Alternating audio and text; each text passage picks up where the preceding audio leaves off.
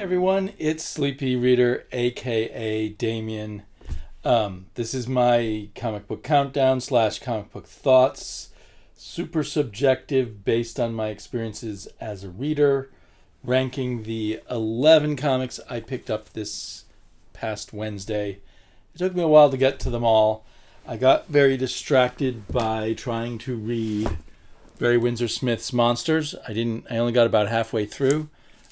Was a very slow read for me. Um, and I also got about halfway through this graphic novel called Izuna Volume 1, which is quite interesting, but also somehow a slow read for me. But nothing compared to Mon- Monsters is what really slowed me down.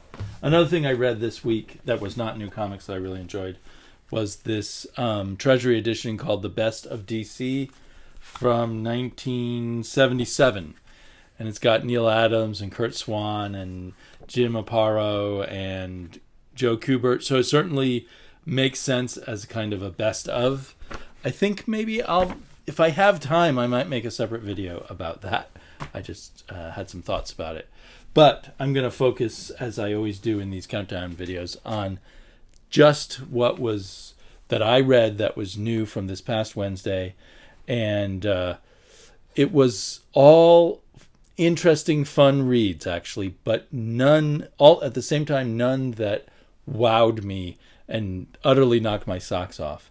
So it was kind of a in the middle kind of week in a way. I mean, I was glad I was reading lots of comics, but I couldn't, you know, find that one that just made my week. So I've done my best to rank them in terms of how much particular pleasure I got out of reading them.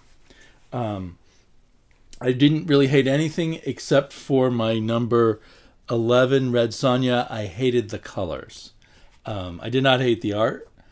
I did not hate the writing, but the colors were just way too dark for me and way just, I don't know. They just took away from the reading experience, in my opinion. Even the few daylight scenes, the colors were not terribly appealing. The artist, Mortot, who is a pretty good comic book artist, but I he he did the coloring, and I just don't understand what he's doing to his own artwork here with this coloring. Um, and it's uh, written by uh, Palmiotti and um, Palmiotti and a- Amanda Conner, the uh, husband and wife writing team, and and Amanda Conner did that cover, which is kind of interesting. That hair is kind of crazy. I wonder if it's a bit of a homage to Frank Thorne's Red Sonja hair. I don't know. That's that's just a guess. This seemed like a a decent enough Red Sonja story. I just I was not particularly grabbed by it, but I enjoyed reading it. Um, probably because of the color, I won't pick up this series. Uh, I was kind of this was just a grab off off the um, off the shelves, and I wasn't expecting it to end up being my favorite, but I was kind of curious. And you know, when I heard that Mortot was the artist, that seemed promising because he's in my mind a higher level artist than than uh, than Dynamite often hires. But uh, you know he must love those colors because that's what he put on there, but it just didn't work for me. Um, and then in at number ten is Inkblot, which I usually rank a bit higher than that, but of course all of these were kind of middling. But for Inkblot in general, this issue was less engaging, even though it seemed to have more bearing on our central story in a sense that the original narrator is back with the cat and she goes to visit some of her sisters and she's part of some kind of family that rules over multiple di- dimensions and we have her uh, getting caught in the middle of a fight between her two sisters which should be interesting but somehow I mean, it was interesting enough because all of these comics were interesting, but somehow was not as engaging and charming as other issues of Inkblot. Um, then in a issue nine, I had a little trouble placing this because I did have quite a bit of fun reading it. But this is called uh, Marjorie Finnegan's Temporal Crime. Margie Finnegan's temporal. That seems odd because she commits multiple crimes, not just one. this is by Garth Ennis, and uh, this is not the Garth Ennis that wrote Sara. I mean, it is the same guy, but it is not it's as if it's completely different writer Sara that uh, TKA TKO book about Soviet sharpshooters during World War II. This is an adolescent let's get women in sexy clothing clothing shooting guns style comic book. And um, I was expecting a little more from it. Uh, maybe a little more from the artist Goran Sudzuka. I seem to remember art by him that had more personality than this. Um, this is very competently done, and the coloring is fine at least. Um, so I may or may not pick this up off the uh, off the shelves again. It's an AWA book. Um, who usually I'm immediately struck by the fact that their their books seem like movie pitches.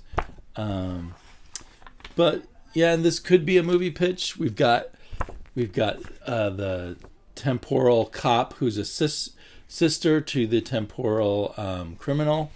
And we have a lot of nice touches actually, like this head she keeps around to do her mathematical calculations for her for time travel. For whatever reason, she's obsessed with uh, David Bowie and his Ziggy Stardust period, I guess. Um, the title of the story is a Ziggy Stardust song title, or a line from one of the songs Let All the Children Boogie. Whereas uh, I think uh, uh, David Bowie said, Let All the Children Boogie. But I it, it doesn't. Uh, there's David Bowie on the wall there. It seems like in a way with that David Bowie kind of 1972 David Bowie uh, reference and such, it seems like an old guy trying to be hip and groovy. I don't know. And, you know, being hip and groovy by uh, tagging back to uh, David Bowie's Ziggy Stardust doesn't seem particularly unique or special in a way. So I think because I kind of keyed into this as kind of a a cheesecake book, I, I perhaps judged it harshly in a way. As I talk about it, I feel like I, I definitely enjoyed reading it, but at the same time didn't have a high opinion of it, if that makes sense. Because uh, it's kind of just an exploitation book. I enjoy. I am enjoying a lot the Wrong Earth Night and Day, um, and that continues with issue four. I'm thinking this must go six issues. Um, this is the the sequel. There was a there was a Wrong Earth comic, then it had a prequel. Now it has its sequel, where the uh, two Batman analogs, Dragonfly Man and uh, Dragonfly, uh, meet and team up and have to fight someone who is poisoning the water in both their worlds. And it's developing very nicely, and there's a kind of a conflict of who cares more about um, the sidekick. What's his name?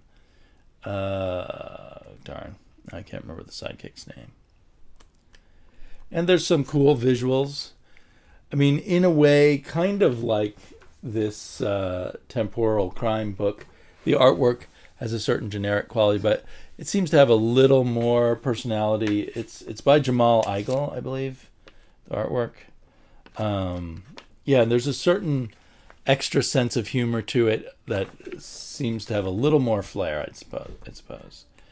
Um, well, there's a twist on the last page I won't show you, but I, I thoroughly, I thoroughly enjoyed this, and it it continues to be this fun, weird, uh, spoof parody, um, black comedy uh, based around the Batman concept. And then in at number seven, I am putting Beasts of Burden, Occupied Territory. This issue was this is issue two in that this miniseries, much better than issue one, uh, in terms of the writing. There was more personality.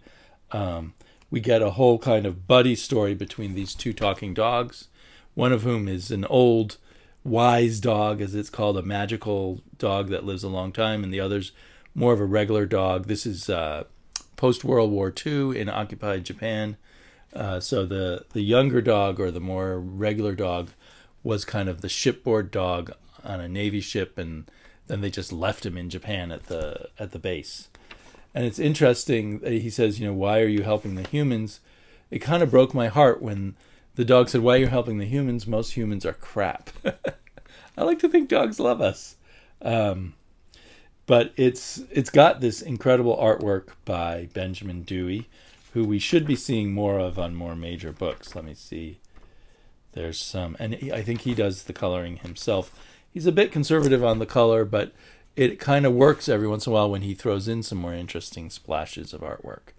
Um, and he's a master at, at dogs and animals with expressions. And we're kind of, this is kind of a journey into the dark side of this magical Japanese demon haunted forest where they meet strange creatures and then the horrifying creature. They haven't named what it is yet. And, uh, and then, uh, other strange creatures that tell them to go back. Oh, and these heads with tentacles. Um, so it's very inventive and it's kind of a cool book. Now I'm thinking maybe I should have ranked it higher. Here's all the, all these weird uh, forest creatures in the Japanese forest telling them to go back and don't venture any further, but they keep going. Um, so I don't know how many issues this is supposed to be. I'm assuming maybe four, the way most um, the way most uh, Dark Horse comics are. Where's my water? Just water in here, not tea today. Okay, in at number six is this one shot. It's oversized. Here's the size of a regular book from Aftershock, who who I feel kind of rips people off with the prices of their first issues. But on this one shot with this oversized, you know, 48 page story, it's seven bucks. So that I thought was a very good price. It's basically a a slender trade, a, a graphic novella, if you will. And it's kind of a it, it's it's written by Cullen Bunn, art by Dalibor Talajic. I don't know how to pronounce his name. Um, and it's kind of your classic horror story with a bit of a twist towards the end um, involving a tattoo artist and a mysterious girl who always asks for him to give her tattoos. And uh, then she comes back a few weeks later, and whatever tattoo he gave her was gone, and she asks for a new one. And she asks him to be creative and just uh, improvise on her skin. And we do get interesting tattoo designs uh, throughout the book and kind of a build up of the mystery and all, at the same time uh, a very sort of artful build up of our character Niles. Niles is the tattoo artist. Uh, his life and character, which is that his wife and daughter, or girlfriend and daughter, died in a car accident, and his life has kind of been meaningless and adrift ever since. He just goes to work, gets drunk, goes home, goes to work, gets drunk, goes home. Um, and so we think we're headed into a romance here uh, between Niles and this mysterious woman who likes his tattoos so much. But um, in the end, oh, there's another tattoo uh, example. In the end, it's not what what I was thinking. Um, it's a pretty good twist, and uh, yeah, he even does ooh, naughty stuff. He even does uh, do the do a little bit of romantic stuff with her, but it still doesn't turn out the way we're thinking. There's another tattoo, but I won't tell you that. But it was it was quite a satisfying horror story. It was kind of just a horror story. It didn't transcend it or anything, but it's very satisfying. Um, so, and maybe the reason it didn't the the art is very competent, but it doesn't stand out in my mind afterwards. Like I can't even identify. I would never be able to identify that uh, artist again. The uh, Dalibor Talajic, except for those tattoo designs, he just was extremely competent commercial art, you might say. Okay.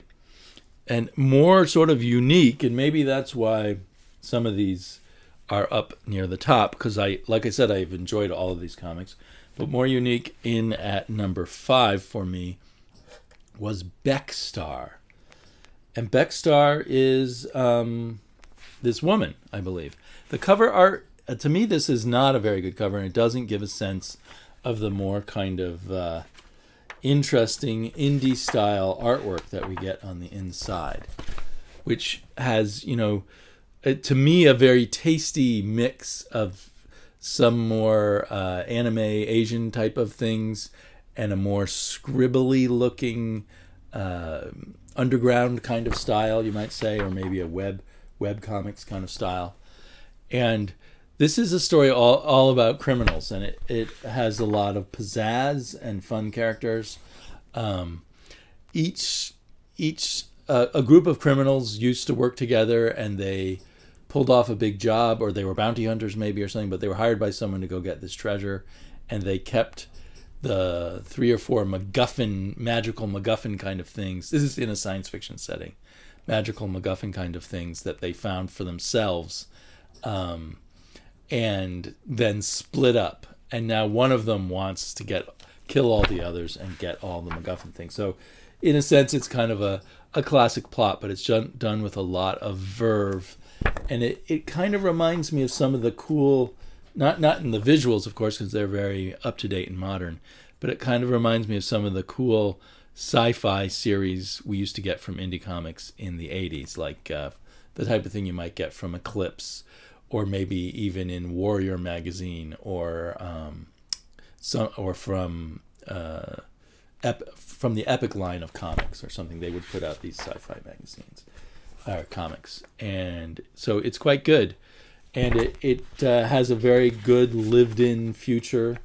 Um, you know, some elements that are pretty much the same as they would be in in modern times, I suppose, with kind of the mob and the the casinos and things like that. But still, a lot of fun. I'll definitely pick up the next issue of Becstar. And very similar in its sort of uh, taking uh, old, a lot of familiar sci-fi stuff but doing it with kind of a modern verve is Jenny Zero, which I'm putting at my number four spot. It's about a ex kaiju monster fighter who is now a drunken alcoholic. I guess her father was the leader of the kaiju fighters, and he dragged her into it, and he's dead now, and she hates him, or she said he's dead now. Um, and her uncle comes to draw her back and get her to fight the new kaiju. Um, but it's so it's got a lot of attitude and it's got a very, I don't know, I, I mean, this is simplification, but the artwork kind of, to me, comes out of the Paul Pope school of artwork, if that makes sense. Um, really kind of nice, uh, interesting colors. I probably should have been talking, naming the artist. Like this Becstar was from Mad Cave, um, which is I think my first time getting a Mad Cave comic. Surprised it actually showed up at my shop. And the um, the creators are Joe Corallo, the writer, Lorenzo Colangeli, the artist, and Sweeney Boo, the oh, that's the cover artist who I didn't like. So I guess uh, Lorenzo Colangeli on here did must have done these colors that I liked a lot. And in here, I also liked the colors a lot, and it was uh, illustrated by Magenta King and color art by Megan Hong. It's interesting. Both of these have are, are female led comics, but they are still written by males. Um, so maybe males are becoming more enlightened and right, putting more female led comics in their comics. Maybe that's purely economics with more female readers out there now. Um, but we still don't see a lot of female writers. Um, that doesn't make I'm that's not putting down this comic, but I was just thinking of that as I was reading a lot of female led comics um, that were not written by women. Um, so yeah, she has her buddy who is sort of in on her partying, but and then a boyfriend who's supplying all the drugs. Uh, but then she gets pulled back in by her uncle who uh, who sent the boyfriend packing, I guess.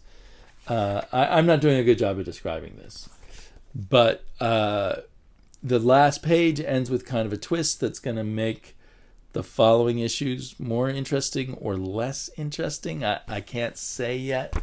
Um, I liked that her her monster fighting tech was this weird, looks like part machine, part biological mechanism that attaches to her arm but she uh, uh, there's the kaiju. I, I think the kaiju could have used some work, but that's being picky. Uh, so many uh, kaiju based comics out right now. It's a real trend. so yeah, I won't show you that last page. So I enjoyed that a lot. Um, in at number three, always a top contender it seems, is the Immortal Hulk, people who say they've been stretching out this story too much are right. I still think it's going to read really great in trade. It's a bit odd to read in individual issues now. It used to, each individual issue kind of stood by itself. It takes a little more remembering what happened last issue as you pick up the next issue. Now, fantastic cover by uh, Mr. Ross. Great art on the inside from uh, Joe Bennett. Um, so it progress. I I admit that it's it's a more stretched out story than it should be, uh, judging from the way it was written towards the beginning of the 50 issue run. But I'm still enjoying it a heck of a lot, and um, it's still this was kind of a fun big battle issue fighting the first the Hulk fights the UFOs, then he tries to go to a bar and get a drink because he's got such a good buzz on from having all his powers back and and beating up people. and then they send in the Avengers, and he has a big battle with Thor. And I assume the next issue even more battles. So if you just like Hulk battles, you probably could just grab this and say, I don't care what the the main plot is. Let's see Hulk fight all these people, and you'd have a good time. Okay, I gotta check something in the kitchen and I'll be right. Okay, with that non-crisis averted, in at number two for me is this new image book called The Good Asian. Um, I really appreciated its kind of historical context, and you uh, you are entertained, but you also feel like you're learning a bit something about uh, this the situation of Asians and particularly Chinese in the United States in the 1930s and, and in the years leading up to that.